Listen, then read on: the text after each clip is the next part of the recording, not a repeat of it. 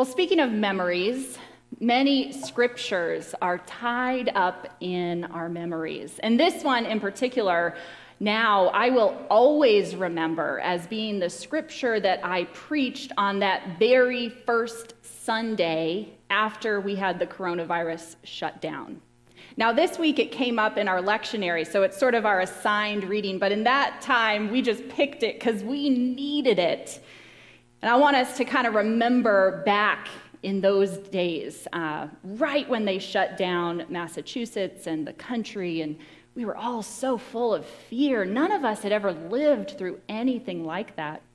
We didn't know what this disease was going to mean for us. We didn't know who really was most affected. We didn't know how much we should be scared. We didn't know who was going to die, how many, and even if that was going to be us or someone we loved. As your pastor, I was fearful that I would be doing funerals for people I loved in this community. I had no idea what lay in store. The winds and storms and chaos of that time was so all around us, and we, like those disciples in the boat, were right to be afraid. We were right to be afraid, and we were filled with fear and anxiety. But at that time, a year ago or 15 months ago, we took comfort in the truth of this scripture that Jesus is in the boat. We might not see him. We might not remember that he's there because he's sleeping, but Jesus is in the boat. And that kind of became a refrain for us as a community. When we would feel fearful, we would remind ourselves with just that word Jesus is in the boat. Jesus is in the boat. No matter what happens, we are not alone. And we're not going to face this storm or any storm without the love, comfort, and calming presence of God. And we took great faith and comfort in that word. Jesus is in the boat. And that is still true today. I know many of us are facing storms entirely different right now from coronavirus, diagnoses, and, and all kinds of family issues or, or personal issues or work issues or trying to find work issues or trying to even find a meal issues. And we're reminded again and again that Jesus is in the boat, even in those times. But right now, the storm of coronavirus, that storm that we were facing, is in fact ending. And we're not as afraid of the coronavirus as we once were. Many of us are vaccinated, or we know what precautions to take, we know what the risks are, we know so much more now. And so that, that particular storm is sort of waning and uh, the end is hopefully in sight.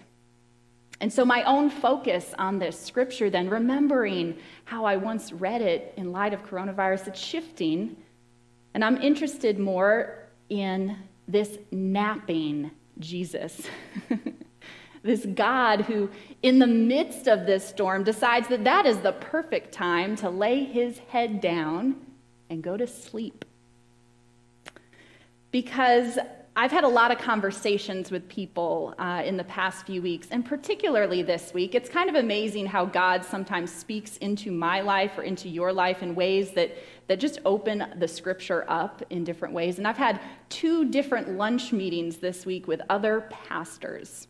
And the number one thing that those pastors have told me is something that I don't think is unique to pastors, because I've heard it from you all, I've heard it from friends, I've heard it from family, I've heard it from everyone and that is that we are now so tired. We are so exhausted from getting through this whole storm, even as the winds are calming. We are a tired, tired people. I've had friends, you know, these pastor friends tell me, they say, Anna, you know, nothing is in the tank. I got nothing. I don't know what I'm going to do this summer. And I don't think that's unique to pastors. Now tell me, tell me I'm wrong in the in the handshake line, but I don't think that's unique to pastors. I think we're all so tired. And, and we have every right to be tired. We have lived through a really intense storm. I bet you when that when those disciples saw those calm waters, they were tired too after all they had just exerted, all they had just seen. But I'm curious still about then this napping Jesus. And the word that we might take away from this napping, resting Jesus in the midst of these storms, because we need it. We need this rest. And the question is, how are we going to find it? But here's the tricky thing about needing rest so desperately. I know this as a parent with little ones, but you all might know this too, even of yourself. What happens when you try to put down a baby that is overtired? You know, like their eyes are, you know, it's harder. It's actually harder to rest the more tired you are. Babies won't do it. We won't do it. We call that overtiredness a second wind. But I think that's a euphemism for just being way too exhausted and somehow not letting ourselves rest. That adrenaline pumps through our body. And the more rest we need, the less rest we can find. So again, I'm looking at this napping Jesus and I'm wondering what word he might have for us and our overtired selves today. Because the more mentally and emotionally exhausted we are, the more likely are we are then, I think, to keep our anxiety high. And we see this sometimes. People are spinning a little bit in ways that, that we don't need to be spinning, either in work or mentally or emotionally. We can, we can kind of manufacture a storm for ourselves because sometimes that dead calm is more scary than the storm was when we are coming out of it. I know that soldiers, when they are coming back from war, and I can't think of a more intense storm like experience than soldiers who have served for months or even years in a wartime experience. Imagine the adrenaline levels that they have experienced. It's that they struggle when they come home and they experience the dead calm of ordinary civilian life that sometimes they struggle the most. Now, we call that PTSD. And I wonder if some of us might have a little corona SD or whatever you want to call it, a little coronavirus PTSD, where we're struggling to adjust to this dead calm, or it's not dead calm yet, but maybe this dead calm that's on the horizon. So, this scripture reminds me that even in the midst of a storm, Jesus didn't actually need the dead calm to take a nap, right? Jesus didn't have to wait to calm the storm for his own ability to rest because he, as Jesus, lived out the truth that we can learn today that rest is an act of faith. I'm going to say that again because that's the takeaway from today. Rest is an act of faith. Now, Jesus grew up as a, um, as a Jewish man, and he was a Jewish rabbi. And so this is embedded in who he was. And being the Son of God, he lived this out perfectly in his life the truth that rest is an act of faith. Because Jews in Jesus' time took seriously the Sabbath. They knew that every seven days they needed to rest. They were required to rest, to reset not only their bodies and not only their minds, but their spirits and their faith too. Because they knew that when you take your hands off the wheel, when you stop driving with white knuckles the car of your life, you realize that God is the one who is in control. And you realize that resting and taking, taking yourself out of that driver's seat allows the truth of God's love and goodness to be made known in your heart. So often we think that we are the ones who have to make everything happen. We think we are the ones, the only ones who, who can change the world, and that is true, and this world is bigger than us.